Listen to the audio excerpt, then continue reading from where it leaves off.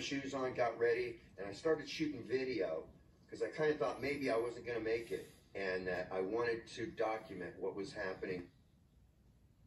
Oh, goodness. Well, just watching that video gives me some chills. And musician Buck McCoy has called Middle Tennessee home for more than a decade, playing at some of the most famous spots here in Music City.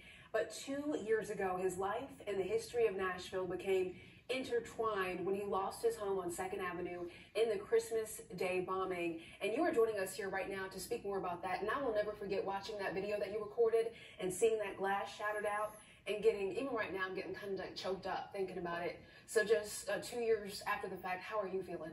Well, I'm feeling a lot better because watching that video does kind of bring me back to the, all the feelings and emotions that I was going through, and it was uh, uh, it was probably the most devastating thing that's happened to me in my life. You just move here to Nashville to play music. You never think that we're going to be involved in something so horrific. And uh, I woke up that morning, and from then my life was changed. But uh, looking back on it, two years now, I've gone through an evolved situation where I'm really forgiving, you know.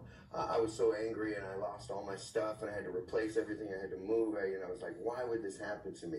But now I'm kind of got a forgiving heart of uh, the gentleman or the person that had mental illness that parked his uh, car there and decided to blow up the street because uh, he thought he was gonna, you know, right. Uh, you know, pay attention to things. I have to ask you, whenever I run past that area, it still catches me by surprise because the brick from some of those buildings is still gone. So what do you think about it?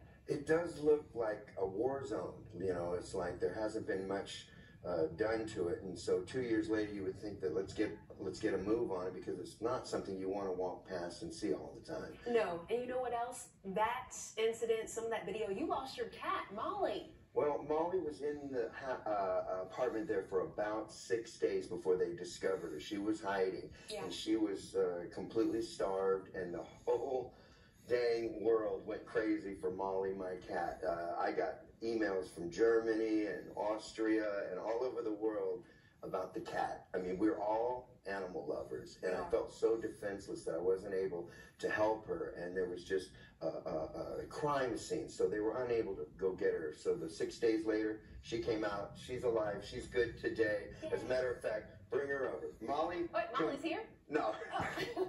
Don't do that to me, Let me ask you one quick question. Do you are you hopeful to see the next steps for Second Avenue for it to come back just better than it was before? I do. I think Second Avenue is a gold spot, and uh, it can be revitalized. And there's some new places coming up. I know uh, Eric Church has bought a building on the corner there, and I hear uh, uh, Morgan Wallen has purchased a piece of property over there. So I think it's going to turn into a great hot spot, and it'll be back to what it was before uh, this whole disaster. I believe you're right. Hey, Buck McCoy, thank you so much for coming out in the snow, no doubt. oh my gosh, and helping us and speaking with us here on Fox 17 News this morning. Thank you. Thank you. And our time right now is 817. And Buck, I'll agree with you. We are all animal lovers. Every day I do a pet of the day because we need to, you know, spotlight them a little more than ourselves occasionally. So today I got a dog of the day whose name is Peter Barker. Sent in by Nicole from Lebanon. Temperatures right now are below zero.